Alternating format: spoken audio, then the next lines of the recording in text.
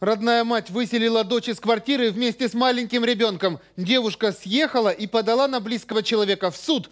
Фемида удовлетворила иск и обязала мать выплатить дочери больше полумиллиона рублей. Вот только получить эти деньги и забрать свои вещи из маминой квартиры девушка не может. Подробности в репортаже.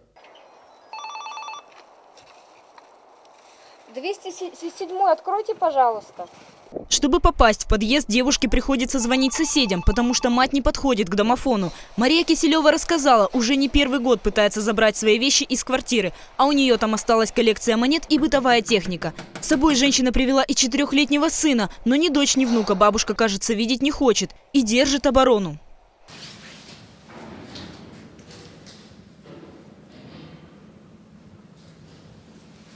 Он там кто-то есть.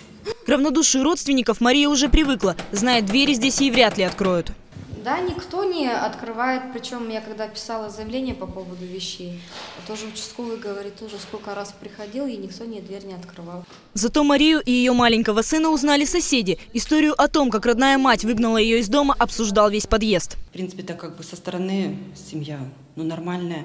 Единственное, как бы вот знаем историю, что со старшей дочерью, то, что когда родила, ее отправили к отцу жить. Со слов девушки, ей с ребенком пришлось ехать, потому что так якобы настояла мать. Мария говорит, будто та требовала от нее деньги за проживание в этой квартире. Это и поссорило близких людей.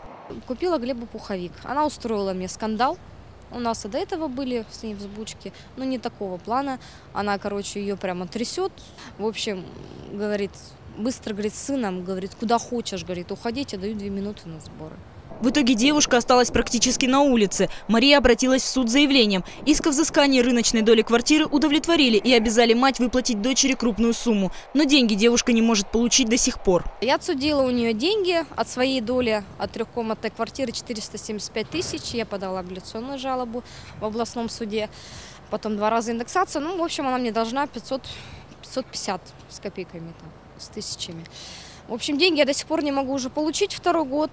Я ей на жалобу писала на судебных приставов. В общем, она тянет дело.